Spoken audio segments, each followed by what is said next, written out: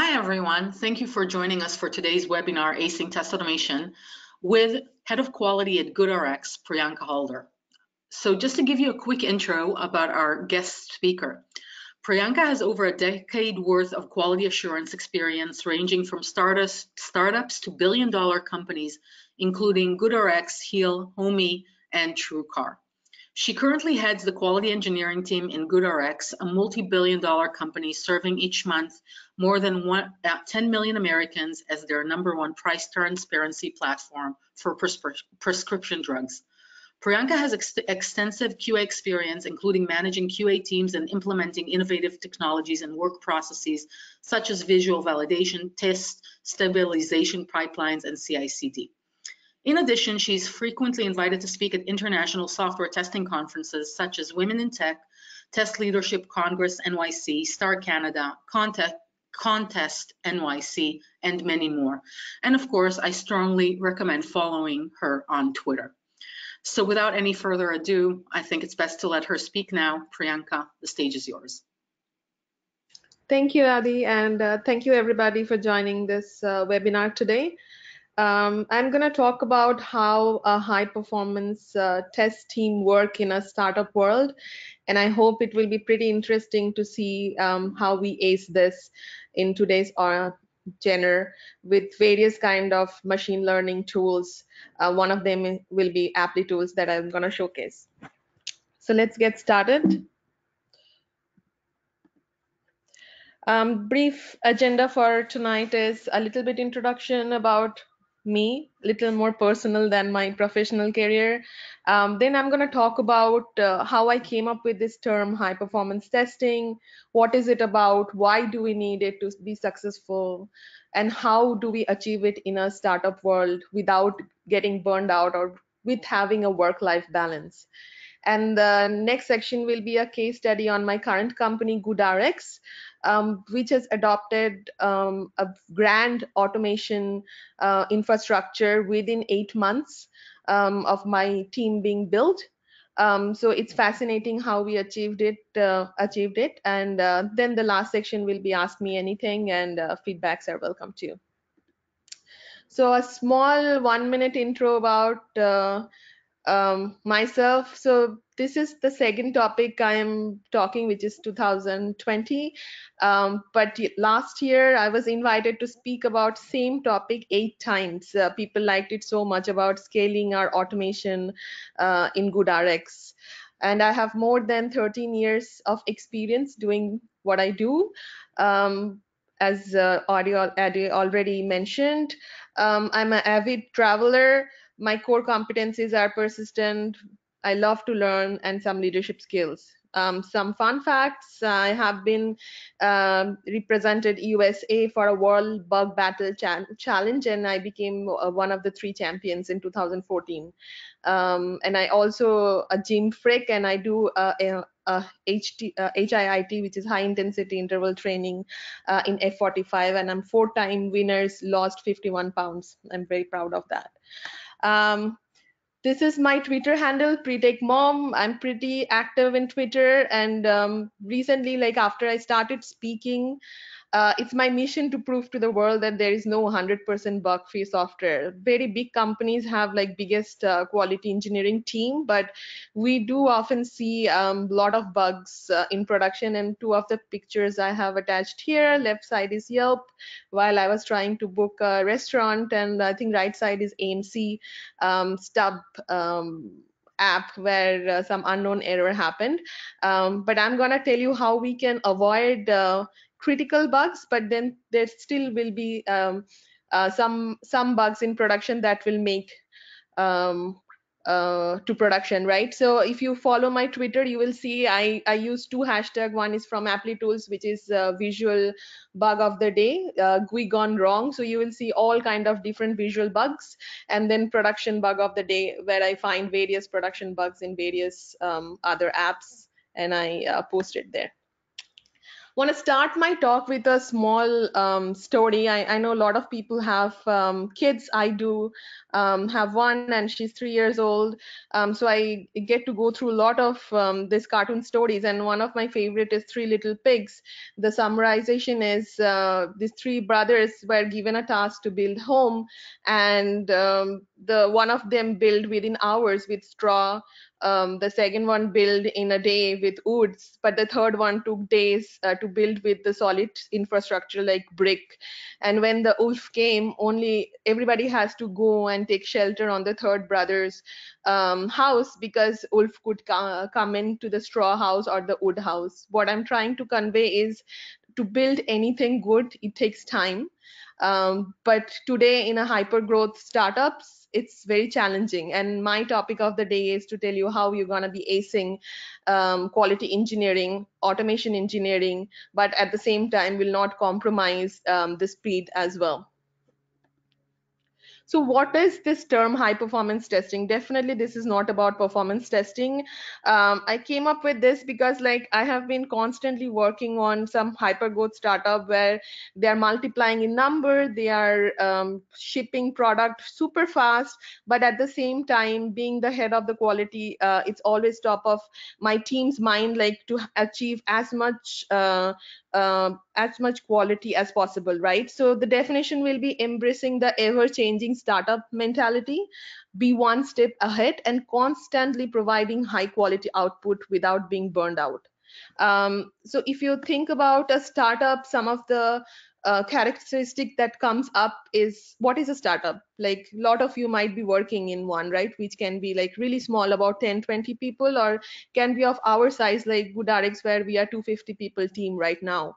Um, so it can be very chaotic where you will uh, need to be comfortable with change. Things change with like how the market is doing what uh, user wants to use it right? Um, so if you work in a startup it's not like big company where you will get months and months uh, to think about product or release something. We release uh, almost uh, 5 to 12 times a day depending on backend or front end and that speed is crazy. So less time like we are always catching up. Like there are more work than resource right? Um, less resource like uh, veterans are mentored here. So if you work in a startup for three to six months, you already know in and out of that. Where in bigger company, it takes years to learn about uh, a pipeline or even the infrastructure. Uh, market pressure I already touched upon. So it's it's like responsibility to assess risk is very very important. Like as a quality engineering team uh, it's not only important for you to know how to test stuff but it's very very important to you to let your um, higher level people know what are the risk with going with that product right? What you are thinking from a user um, accessibility perspective. And then there is reward also to work in a startup right? Um, expedite learning excellent parts. Um, so it, it's a package um, that comes with it. Then let's talk about the why. Why do we need to uh, perform uh, in a very high level? of like high performance level um, when we are being the quality engineering company for a startup right um, so if you look at this slide it shows the evolution that has happened in past uh, decade um, so we started with desktop package uh, client apps, um, which is to take months uh, or even year um, to uh, release. Then we went on to the desktop and web responsive app, and then it started like weekly release, uh, continuous integration. And today we are into web app and mobile worlds. Like uh, we went from annually, quarterly, monthly, weekly to daily, and sometimes now ad hoc. Whenever we need to release, we just release, we hot fix. Um, so the change is pretty drastic that came right? And also like there was change of process. So in like 10 years ago people used to be waterfall. Like there were very um, defined stages. Qa had a lot of time to um, find uh, bugs and report it. Today like we are always rushed. Uh, we have to find uh, without like too much time right? We have to we have to find times within that uh, small set of time that is given to us. Uh, we have continuous integration to support. We have continuous delivery to support. And also like previously people used to use proprietary single um, stack on-premise um, softwares um, like hp uh, most of the time or uh, qtp and today we are we have so many open source tool um, we are utilizing. So we have to think about all this whys why we need to be one step ahead why we need to be uh, thinking about uh, being super um, fast and super uh, uh very very fast about delivering the um, testing right? Uh, let's talk about the how. How can we um, deliver a very high like how can we be the high performing team quality engineering team and what it requires what tool is it requires um, how can we achieve this? So i came up with a three step uh, heuristic. One is learn from failure. So if there is unclear requirement if there is impossible de deadlines if the projects are still behaving like in a waterfall fallish uh, manner um, jot it down when you join a company uh, when you're trying to set up the uh, quality engineering team uh, then come up with a test heuristic what you're gonna use to mitigate those failing point or pain points, right? Uh, use a mind map because we don't have time. You don't have to write test cases. Maybe use a mind map and go from there. Uh, use short-term tool versus long-term tool. You can do, um, you can always divide and conquer, right? You don't have to have a proper framework from the beginning, but then you can divide your team in two ways. One will be doing, doing dirty um, automation fast uh, to support maybe an ongoing release, and one team will be working on frame, framework and they can achieve a long-term scalable process. Then find bug early. Uh, shifting left is the like heuristic everybody talk about. So we came up uh, with something like having a shift left meeting and i even learned it from one of my conferences where we meet with developer after each uh, development uh, of, of a product or feature and we talk about there to find the bugs early. Uh, so do we don't have to go through the lengthy process of documenting it in jira uh, going back and forth and and then fixing it. Uh, then set, set achievable goals um, playbooks and uh, muscle memory. So like everybody in your team should be knowing how to achieve um, a specific testing, right? It should not be uh, reinvention every time somebody say, hey, you need to test this feature A, B, C. So having playbooks and, and training your team uh, make, makes or breaks the whole process. Then having a scalable um, scalable uh, toolkit um, like the team structure and i'm going to talk about it more in my later side uh, later slides um, being top of the industry standard. So a lot of people talk about uh, this tool is great uh, selenium is great cypress is great but which tool is suitable for your company your startup? Like where you are how many people do you have? What are their core competencies? So having a scalable toolkit based on the company you are working and the team you have uh, also is very important. Um, automation framework first find the strength of your team and then come up with the automation framework and then it's very important to go with the industry and find the solutions which come up with ai and ml and i'm very big believer of, of it i know people talk uh, people think these are all like fad word and uh, there is nothing into it but as you go through my slides, you will see how uh, this kind of tool has helped us immensely to speed up our releases um, in GoodRx. So a very big uh, important thing is uh, teamwork when it comes to quality engineering, the collaborative effort, a group uh, to achieve common goals. So when we talk about quality engineering, it's not about uh, QA doing the quality assurance, but it's about how the whole team is get, taking the approach um, uh, to make the quality engineering successful. And I want to talk about how the team has evaluated evol evolve as well, right, uh, in past few decades. Um, so like from manual testing domination to how we have moved on where developers are testing um, they're writing a lot of unit tests they're writing even functional tests um, today right uh, before we used to have dev and qa completely separate uh, then we then the line slowly became uh, very thin and now there is devops take, uh, test takeops right? And we as a whole team try to achieve continuous integration and continuous um, delivery. So this team evaluation plays a very big role uh, to make your team uh, like a very high performing team. So you have to find the balance where like where your company stand today in this chart and then um, decide like what kind of team gonna work for for you Next was before we used to have service uh, team where it was centralized, centrally organized. They knew everything. They could go and integrate with any project and they could deliver, right? But today we have like true agile teams where it's it belongs to a quad or clan and uh, they exclu exclusively have a product knowledge, but they still think about the bigger picture and uh, they work with a particular team and, and provide value to that particular team um, let's talk about like I talk, talked about a lot of um, leadership stuff that made um, uh, quality engineering pretty successful. Let's talk about the automation part of it.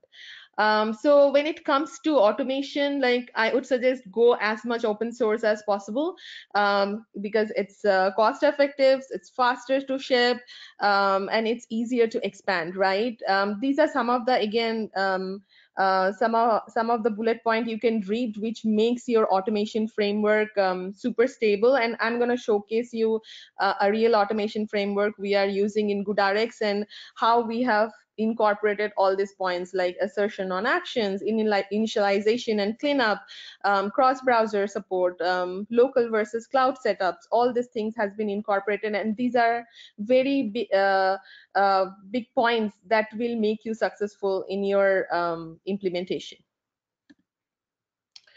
Let's next talk about some industry standards. So again, I told in my previous slides that a lot of people talk about automation, acing automation, but how many of us knows what acing means? How many of knows where industry is? Um, can anybody um, tell me what uh, the minimum, sorry, maximum test time um, should required for an automated test? How it should um, work? So I came up uh, um, this Sauce Labs, Labs documents where they have went ahead and they have actually surveyed some of the biggest of their clients like Visa and uh, MasterCard, and they came up with these four different uh, categories test quality, test runtime, test platform coverage, and test concurrency. So the benchmark, um, benchmark is uh, the first one, test quality. 90% of your automation tests should always pass. The second one is rest, test runtime. Your test average time should be two minutes or less, like each test, right? Um, test platform coverage. You should know with your data that um, what are your top five platform is and you should at least cover five different platforms using automation like cross uh, platform coverage. Uh, test concurrency. If you use uh, concurrent nodes um, like sauce labs or BrowserStack you should be um, utilizing 75% of your uh, available test capacity. So suppose you have chosen 75 nodes you should at least use 50 to 60 nodes every time you're running your test cases. So when they came up with these four categories and they they surveyed one of the largest of their customers, the, the results were very interesting. They, they saw only 18.8% organization passed the first quali uh, first uh, thing that which is test quality. Only 35.9% of the organization um, pass the two minutes or less test runtime. And 62.5% organization had test platform coverage and 70.9% um, organization had test concurrency. But the most interesting um, fact is this one. Only 6.2% of the organization had achieved the benchmark of excellence in all four categories which is like fascinating. We all talking about automation. We are doing it for years. Still nobody knows how to ace it today and they have no idea uh, what are the benchmark we should be following. So this is a very interesting um, finding by sauce lab. Again like when they did the survey the the results are so fascinating on the speed. There are companies which takes uh, where the test takes more than seven minutes and 10.42 percent companies fall into that uh, category. 24.48% of the uh, companies fall into three to seven minutes, which is pretty high. And you are seeing only 35.9% are using two minutes or less. So just uh, just having automation does not help. Making that automation may, uh, meet this uh, uh, excellency is, is very, very important again when it comes to browser automation i think everybody's favorite uh, browser is Chrome. So you see like 65.5% of the people are using Chrome. Uh, there is very less coverage on Safari because it's most hard one to do and very less on Microsoft Edge as well. Um, so we still have uh, runtime to achieve um, this uh, cross-platform coverage then and when it comes to real mobile versus uh, desktop test fascinating. Only 8.1% of the companies are actually using mobile uh, devices to test. Uh, most of them are using like desktop browser. They resize it and then they they test their mobile web. Uh, it makes a very big difference if you do like that. So if you really want to make sure your quality is is uh, top notch. You have to use a real, real mobile device and real uh, mobile browsers uh, to make sure that yes your product is working as expected.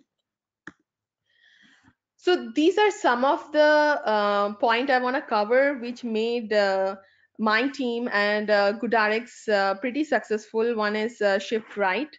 So we, when there is a time crunch, what we do is we feature flag. Uh, we use Split.io and we feature flag our um, features. We go to production and we actually test it on production. We ship faster when we are satisfied that yeah things are working on production. Then we open it up um, to the real user. Um, it has a lot of positive points, uh, specifically depending on features uh, because then you're sure that yes that feature gonna work on a production environment because sometimes the staging and production environments uh, differs heavily um, the second thing we use is traffic allocation. So gradually we introduce the, uh, any feature to um, customers so that if there is major bugs, we could make sure that it's caught in between like maybe 5% to 10% user and we are not harming all our 100% user. Uh, has uh, been proven very helpful to find critical bugs, critical edge case bugs, which are very difficult to find in lower environment. Uh, and then dog fooding, uh, you guys know that Facebook always has a staging environment where uh, Facebook employees goes and use Facebook on, on lower environment. And we use something similar uh, using Fastly where uh, we route all our internal users through our um, staging like one of the production side and then we test it and once we are uh, happy with it and then we open it. So super simple um, implementations but makes or breaks your quality of a product the third thing I want to talk about is AI ML adoption uh, for acing uh, automation, right? And there are so many tools in the market, but some of the tools that we have uh, used and uh, being very successful in implementation is automated visual regression. Uh, as you know, Applitools is the leader of that. Um, so what it does is it validates the look and feel of user experience. So if you think about goodrx.com, where you go and search for your medication, and then there are 300 different pages where you can read about uh, medications where you can know what are the different uh, policies are against those medications. There are so many things to be done. So if i have only manual testing or release testing team they it will take six or more hours for them to go through all the uh, pages to make sure okay things are not breaking. Whereas this kind of tool gives us the leverage to run uh, automated check uh, within minutes and then uh, release every day multiple times when I do my actual conference talk, I actually do this um, comparison. It's it's like everybody loves it, where you have to find uh, nine differences in 30 seconds. I'm pretty sure a lot of you will be able to find it, but super tough to find nine different in 30 seconds by one individual. So usually how it happens in my conference, it takes more than two minutes for 30 people to find 30 differences.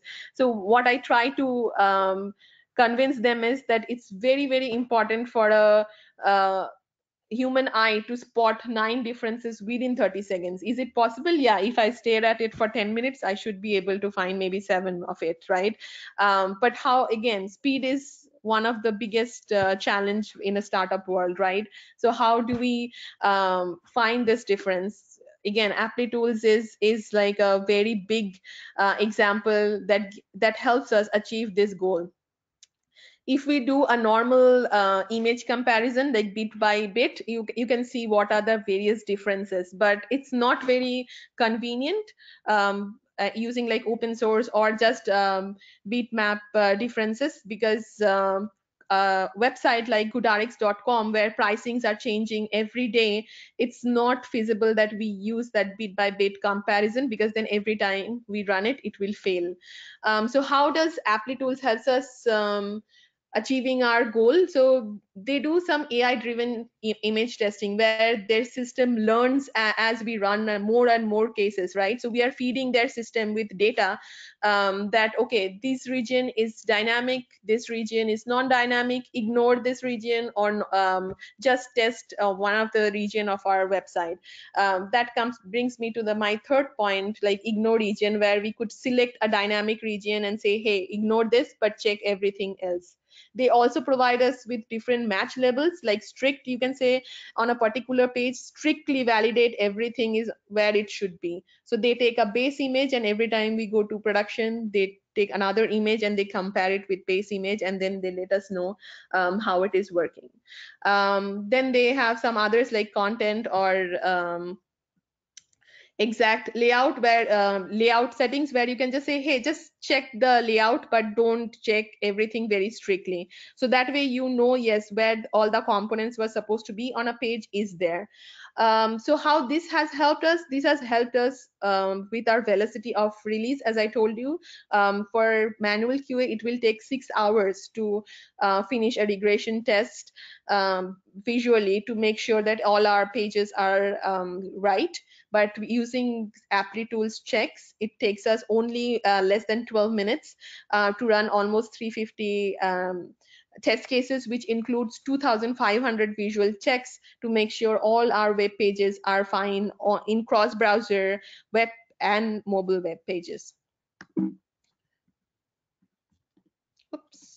Uh, these are some of the example that uh, a tool like applitools uh, will find bugs and these are actually my real uh, applications. So the middle is goodrx.com in our mobile web uh, some code snippet came in which uh, um, found. On my right it's an amazon prime app where the image has gone missing and on the left it's a macy's app. I actually have this top um, you see the error message it's behind the button, right? So if you have a normal Selenium test and you assert that, Emma, do I see this error message? It will give you false positive and say, yes, it's passed because it is present on the uh, app, but it is actually hidden behind a button, which uh, a tool like Applitools can um, find for you.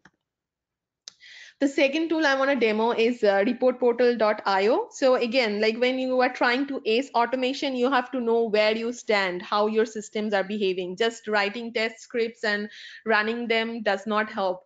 Uh, to build uh, trust uh, around your automation platform you have to showcase to your team that yeah this is how our platform is beha uh, behaving. And we chose this tool uh, reportportal.io this is a open source tool. Again they use machine learning uh, to show you how your system are behaving. You can create different kinds of chart to know like what are your uh, average timing which time your test um, performs the best which time it's doing retries the most um, uh, what are the automation bugs what are the system issues it can like give you very minute details which can again provide the trust your development team requires so the first example was how long our tests are taking on uh, different times of the day. The second one, it's telling us like how many total tests we run, what was the like what are the total time it took, how many passed, how many failed, and how many we should be investigating. Um, so as you keep on feeding the system, it gives you more and more sophisticated um, uh, data map and sophisticated uh, graphs where you can um, see what are the most flakiest tests, what are the most longest tests, and uh, that helps us immensely to make make sure that our automation is at par. Um, the test that needs to be taken care or refactor, we are refactoring on time so that um, our team can release um, seamlessly again um, the third picture it shows here exactly the log what is going wrong with this failed test cases. So it's very uh, so this is like a one um, stop shop where we can do multiple things. So developer doesn't have to run to jenkins or our BrowserStack sessions to know like why is it failing? They can see even the failure reason here uh, integrated again, we use BDD uh, for our test. So here um, it's like super easy to che uh, check like what are the steps we implemented, what are the tags. Um, again, super uh, easy to understand and very easy to know like exactly which test step it failed, uh, which cross browser it ran. Um, again, very, very interesting. So talked about all implementation. I just want to briefly uh, touch base on the burned out that uh, I or many of my colleague has faced working in a very hyper growth uh, company, right? So when we have uh, a very big deadlines or like continuous uh, working days, like how do we feel? It's very, very important that we talk about like um, what burnout feel like. Uh, these are some of the points you guys can read. So when you see your colleagues some like they're dragging themselves to work they're critical about their work they they feel like less satisfied or um, they like they seek help with like uh, alcohol or drugs uh, these are the symptoms of um, burnout and uh, I think as an engineering lead, it's our our responsibility to make sure when we are working in a hyper growth company, we, we prevent the burnout. We talk about all this uh, implementation tools, how uh, we can ace uh, with these matrices, but we never talk about how we should be um, taking care of our own team and how we will make sure that they are not feeling uh, burnout or they are not hopping from one company to other because they could not succeed in a hyper growth startup because it's always very very demanding. So taking breaks often having a strong support system making uh, self-care a priority saying no to too many projects. And i myself have told a lot of my uh, peers that i may come out very irrational and uh, ask you for like a lot of um, stuff, come to me, talk to me, and make sure that you're not getting burned out. Uh, do something out of work, uh, manage digital distraction, avoid unachievable goal. These are some of the very few points that um, want to help you um, preventing burnout. And I, I, made a part of it my talk because uh, we are talking about hyper growth companies. Um, so it's super, super important um, um, that we uh, talk about it the last interesting topic is a case study about my company GoodRx where I work currently.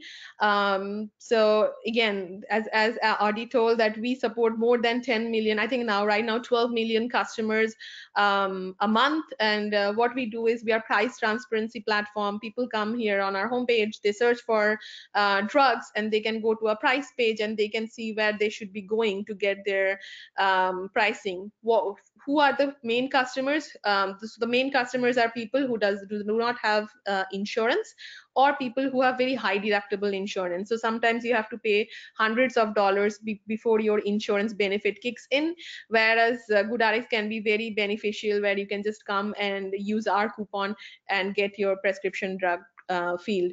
We also launched GoodRx Care, which is a telemedicine platform, and uh, it helps user um, see a doctor with just as uh, low cost as like $5 or $20, depending on what kind of service you are uh, using. Um, so when we have such a big volume of customer, quality is very, very important, right? Because if our site is down for five minutes, that means few hundred thousand dollars. Um, so when we I built this team, uh, I came up with some of the goals that helped immensely. Um, so distributed QA support 24 by 7, uh, dedicated SDET team which, who specialize in writing test automation, some robust framework that's gonna work for our development team as well, a test stabilization pipeline where we make sure when we are continuously writing our test, we are not breaking the actual tests. Um, then we the last one was 100% automation support to reduce regression time by 95 90% and uh, we have achieved that for goodrx.com products.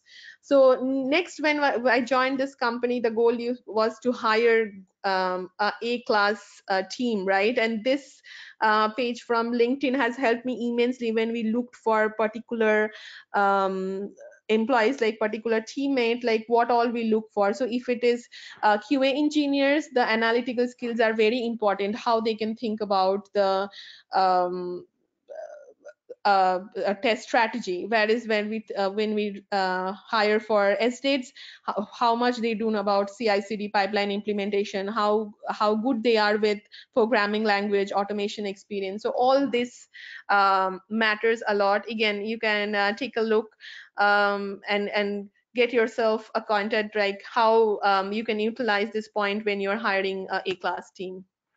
Then after i hired my team i uh, after evaluating their strength we came up with this tech stack.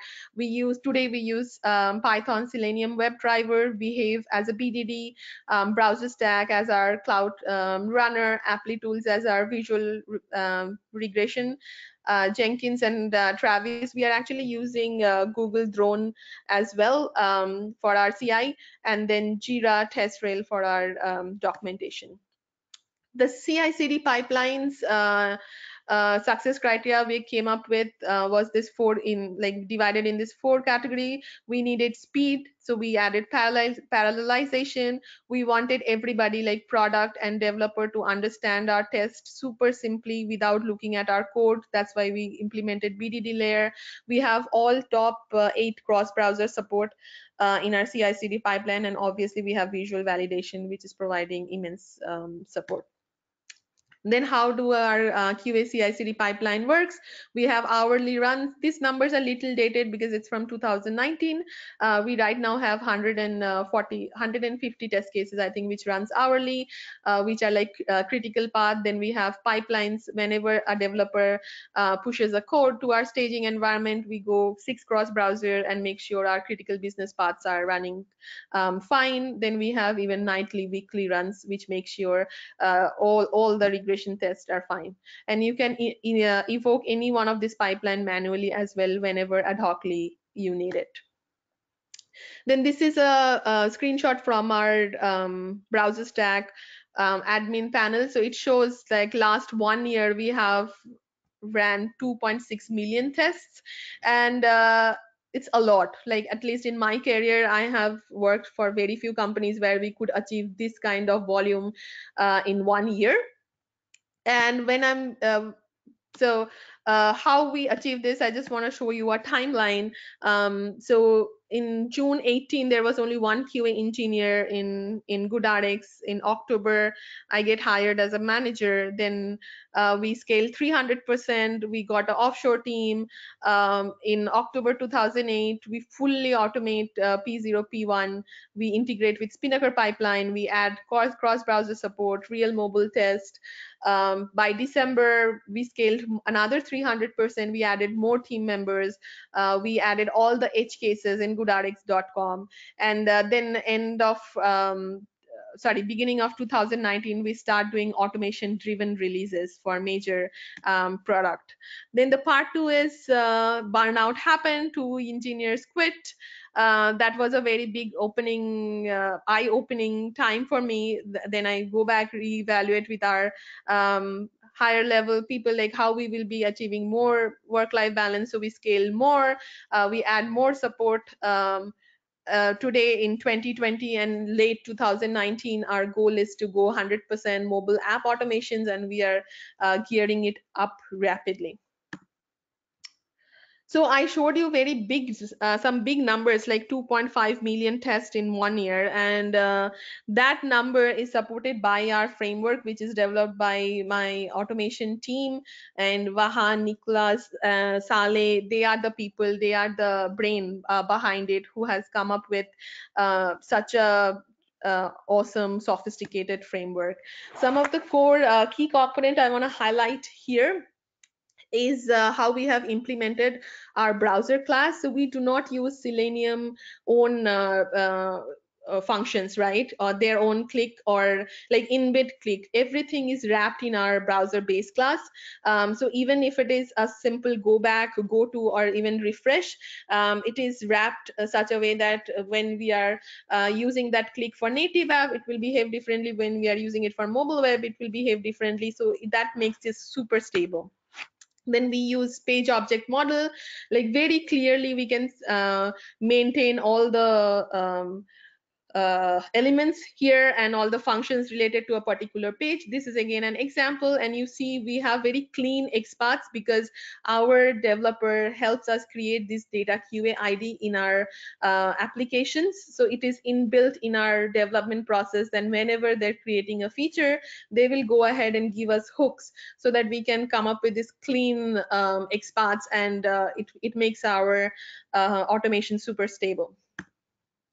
Then element wrapper class, um, something my automation team uses uh, called lazy loading. So we do not call the browser class every time we are trying to perform an action on an element. We just we just call this find element uh, function and pass the XPath to it and whenever we're trying to do a uh, action on an element and it speeds up our test uh, very very um, highly um, that has been a very helpful feature for this uh, particular framework and the last one I want to showcase is Applitools Check Window Wrapper. Um, so one of uh, give a tips that I learned from again uh, my automation team is whenever you're using a third-party SDK, it's super important you wrap it inside your framework. Otherwise, whenever they increase their SDK numbers and do some breaking changes on their function functionalities, it's gonna break your own uh, framework, right? So this is an example how you should be wrapping a third-party um, SDK so that uh, you can upgrade on your own time if they're changing the way they uh, do a certain uh, functionality this is a holistic uh, view of how our whole automation framework works. Um, we have a reporting dashboard. Again, I went through all the different components um, uh, previously in my desk. So we use Selenium, Applitools, uh, Blazemeter for API. Um, we have um, feature files, which is BDD, step definition, page objects, uh, visual validation, uh, driver driver wrappers. Uh, we keep our test data in a JSON file and again this is the whole thing is inspired uh, from internet like this is not my own design uh, but this was a very cool way to show you how our whole ecosystem test automation ecosystem um, work. And uh, GoodRx and that will be it. Thank you so much for listening to me for last uh, 40 minutes. Um, i'm open to any questions you have yeah, sure. So we do have some questions. Um, uh, so we'll take it from the top. So uh, you started with uh, the Sauce Labs flow chart uh, that you showed at the beginning, showing the evolution of the of release velocity. Right. Uh, so got two questions about that. We the first one was what what was the on-demand release model, and what is the fast waterfall model? If you could explain a bit about each one. Sure. Um, so on demand is like what we do today. So there are some uh, product team, at least inside GoodRx, which does not have to have a cadence. Like in previous days when we work in a agile environment, we said, okay, we're gonna follow sprint, end of uh, two week sprint, we're gonna release. But now it's very ad hoc, right? So whenever a small feature or small bug fix is ready, they can ad hocly go ahead uh, using CI/CD pipelines and they can push their code anytime time they want. And how do a lot of companies have done this for a long time but like a small startup like us it's a big deal because it's so complex uh, our system. It's if a team a is pushing something in production it can break something for team b. And how do we make sure that uh, the quality is top notch? Through this kind of automation uh, giving them the power that they can do ad hoc releases anytime using help of CI/CD um, cross automation, uh, cross browser automation, cross device automation um, help. And again, I think fast uh, um, what was that? The last one, fast. Uh, what fast was the Fast yeah, fast, fast waterfall i think was little more evaluation uh, from the waterfall model where they were using some kind of v model um, where uh, test will start along with product. So when product finish writing their um, test cases uh, sorry requirement tester will be parallelly writing their test cases. When developer will be developing then test automation will be trying to test automation team will be trying to automate the test. So they will go parallelly to um, make the SDLC little faster. But again, this works in a very big, giant uh, corporations where they have lot of time.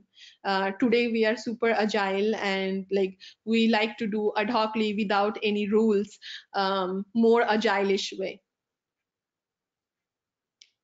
So next question is, uh, do you have any suggestions for functional automation tools driven by either MI or machine learning uh, from your experience or from your colleagues' experience? Uh, I would be honest, I haven't used any uh, functional um, automation tool which is um, like driven by machine learning. Selenium is very very popular uh, in today's world so we have been using selenium. Uh, but i think cypress is getting um, super um, what do you say like cypress is getting very very popular right these days. And uh, tool is coming up with something called Visual Grid uh, where you can just run cypress you know cypress works in um, uh, Chrome only, right? So you can just run the test in Chrome and they're gonna capture all the DOMs and they're gonna surface it in all other kind of various cross browser and you can get within seconds um, the results in, in different cross browsers. So there are definitely various uh, reading on Applitools blog uh, where they're just launching this service where you can use uh, something like Selenium or Cypress um, as your functional tool, but then you can use a MI driven um, system like Apply um, to do cross browser very fast. Uh, but I haven't used any other tool. I know there are, there is um, something that Jason uh, Arbon is working on. Um, there are some tools uh, like Ma what is that M MALB uh, Mabl Mabl, uh, but they are more like a record and playback and we haven't used it uh, in in my career at least uh, next question. Uh, we are using Cucumber uh, in our framework, and I often hear from my colleagues that Cucumber has a lot of limitations and needs a lot of step definitions. How do you overcome that? Uh, we are not using cucumber. We are using uh, equivalent of cucumber in python which is called behave. Uh, when you talk about limitation i'm not sure exactly what limitation they're talking about but it's it's very simple. It's just an added layer for us where the test cases are written in simple english and then they are implemented behind the back using python. We haven't come across any limitation implementing whole automation suite uh, in goodrx.com but again if you are writing non-functional test i would suggest go with pytest um, so that like you you don't have the extra layer of bdd but again that's my personal opinion. Uh, but in in our implementation we haven't come across any limitations so far. When starting automation for the very first time, should it be directly started with framework development? No, absolutely not. Like when you are thinking about automation, you need to do a POC, proof of concept. Um, so have like minimum base structure for your automation framework, not um, vastly implemented. Like you can use the Selenium's own clicks to start with. You don't have to wrap it up. Uh, you don't have to have very sophisticated way of elements handling, but uh, touch the core components of that framework um, or the drivers and then um, do a POC like proof of concept with at least 30 to 40 tests. Like if you plan to write 3000 tests in a long run and make sure that you are touching all the points that you are trying to achieve right? Uh, does it support cross browser does it run within two minutes? Does it uh, can I run this test on a mobile uh, devices? So make sure you are touching all these points. Uh, does it feed in my uh, reporting um, tool. So once you are satisfied with all these checkpoints, then you go ahead and implement your proper um, framework um, after you're satisfied with your POC. And then slowly you take a step to make it more solid. Uh, can you talk a little bit about the framework you use for mobile automation? Uh, I saw that you use Appium, but do you use anything else? And if not, how did you or why did you choose Appium? For your mobile automation testing sure. needs? Sure. Um, so again, our base automation framework is exactly same. So we use Behave, Python. Um, in in mobile case, we use Appium and uh, Applitools. Um, but why did we choose um, uh, Appium and not XC unit or Espresso because our first goal is to mimic uh, the user um, behavior and that and speed up our manual tests right? What our manual uh, like the release engineers are doing release qa engineers are doing. So for that very reason we have chosen uh, Appium and we have chosen to do the uh, test using Appium but in long run when we uh, move towards um, ci cd for our app teams we do have plan to uh, implement um, xe unit and espresso so that they can run them in each push but because our first goal is to mimic user uh, experiences. That's why we went with uh, Appium. Where can I find more information about wrappers?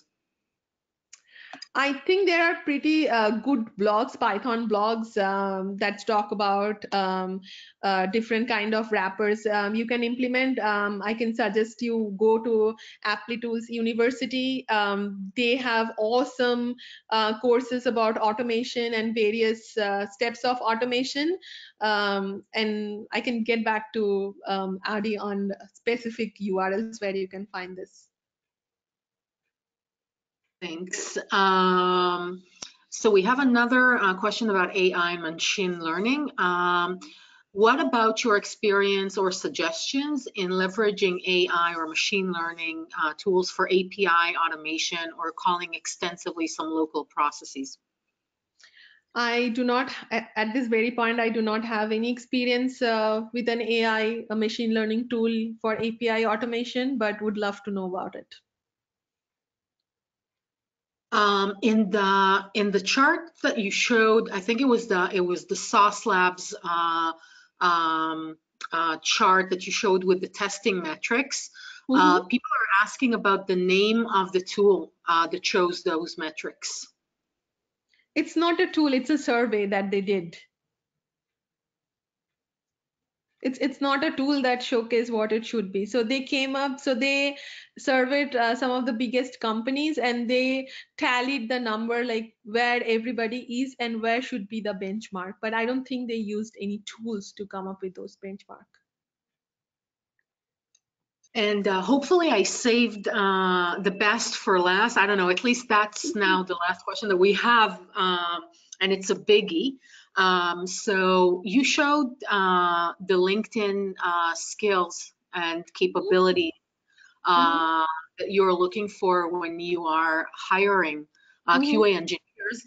And mm-hmm. people are asking, and people are asking if you could go back to that slide and just elaborate a little bit on that. Uh, they want to know what are the deal breakers uh, in terms of capabilities, knowledge, tools, qualifications, uh, coding abilities uh, that you look for when you hire QA engineers? Uh, what are the things that are nice to have versus must-haves? Uh, so if you could just spend a little bit, uh, we have another four minutes, so if you could spend a little bit of more time on that slide, just uh, give more input as a, as a manager. Absolutely.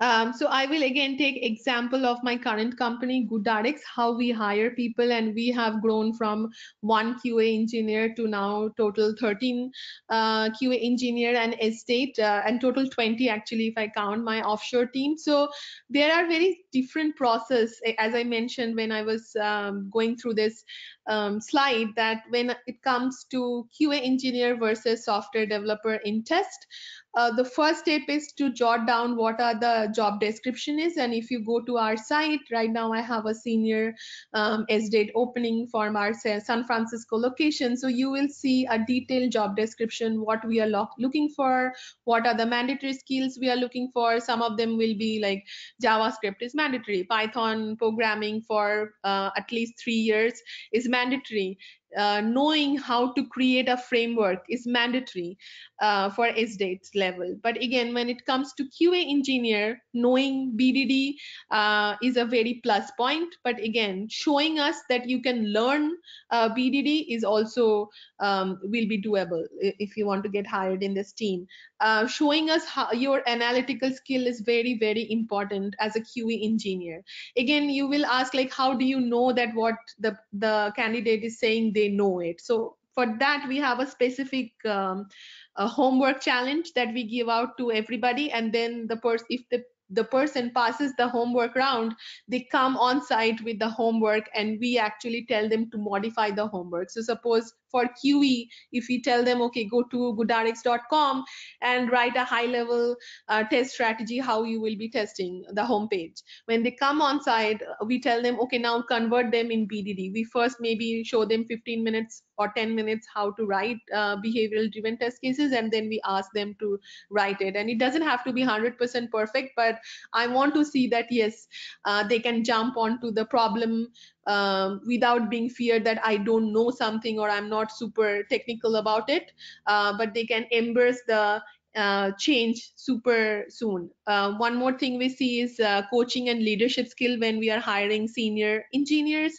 Um, uh, how how their personality is do they like to uh, talk to junior people will they be able to gel with them and show them the path uh, that they have already gone through how they gonna think about the big picture so all this matters. And again when it comes to SDET they do a uh, programming challenge for goodrx.com where they come up with a small framework on our website and show us that they understand page object model they understand wrapper classes they understand um, sending data to a reporting uh, portal all these small things. And when they come on site they prove that yes they have done the homework themselves. And we actually ask them to add one or two test cases um, on that specific framework and ask them to run us through the uh, framework or maybe optimize it and that has helped us immensely to hire uh, top class um, employees Uh, great. So, uh, so yeah, I think uh, that unfortunately uh, that's all the time that we have for today. Um, so I do want to thank everyone that joined us for this live session, first of 2020. And of course, I want to thank our speaker, Priyanka Halder, for this uh, in-depth and super, super interesting presentation. Uh, just a quick reminder before I let Priyanka say her goodbyes, uh, the link to the recording of this session will be emailed to you by uh, end of day Monday. And uh, I see a lot of people um, asking about, again, Selenium, Appium, wrappers.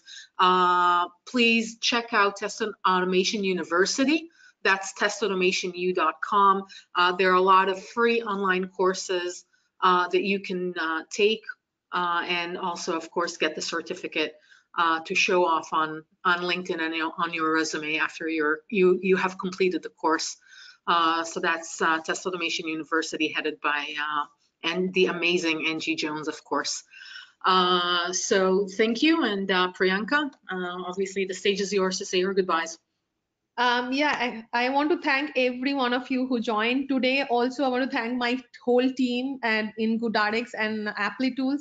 I, I think these are the people who make uh, a small person like me successful, um, giving these talks and showing how much we have achieved. I specifically want to take out few names. Um, Vahan Melikain, Nicholas Hodali, Saleh, eh, Saleh um, Kadan, they are like the main pillar in my team um, who has built this automations and who, who even has taught me how to ace uh, in this um, this genre and in this high speed hyper growth startup. Also, a, a very big thank to Audie and uh, Dustin uh, from Applitools for giving me this opportunity um, to talk about uh, my experience. Thank you so much. And please follow me in uh, Pre-Tech Mom in Twitter and ask me any question there if I haven't answered it today here. Thank you so much and have a wonderful year ahead.